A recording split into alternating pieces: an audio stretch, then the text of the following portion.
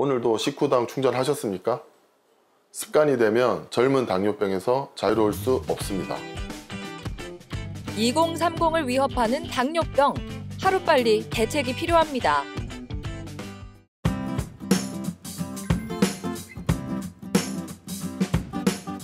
단짠 음식의 선호와 당 충전은 당뇨와 연관이 있습니다.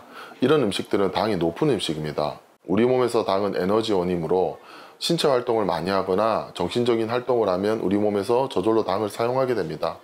이런 경우 너무 많은 당을 넣어주는 건 당뇨가 올 가능성이 올라갑니다.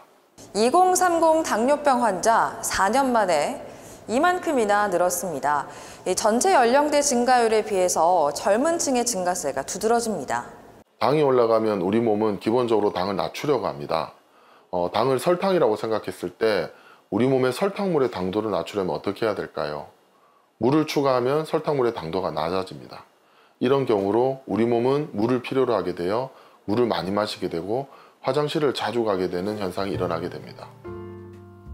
당뇨 진단과 관리를 위해선 혈당과 당화혈색소 검사를 같이 진행합니다. 문제는 젊은 당뇨병이 더 무섭다는 겁니다.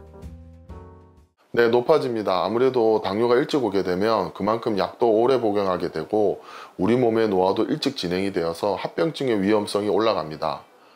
당뇨는 혈관병이라고 보시면 됩니다. 당뇨가 조절이 안 된다면 혈관이 막히고 혈액순환이 안 되게 되어서 뇌졸중이나 심근경색 같이 위험한 경우도 초래할 수가 있습니다. 당뇨 치료의 첫걸음은 생활 습관 교정입니다. 특히 식사 후 걷기 운동은 혈당 조절에 도움을 줍니다. 네, 대부분 비만이 많기 때문에 체중 조절에 중점을 두셔야 됩니다. 적절하고 규칙적인 식사, 건강 식단, 꾸준한 운동, 금연 금주, 그리고 스트레스도 당뇨와 연관이 있으니 평소 본인의 긍정적인 사고방식으로 하루하루를 즐겁게 지내시면 됩니다. 젊은 당뇨 지금부터 잘 관리하면 완치도 멀리 있지 않습니다. 건강 365였습니다.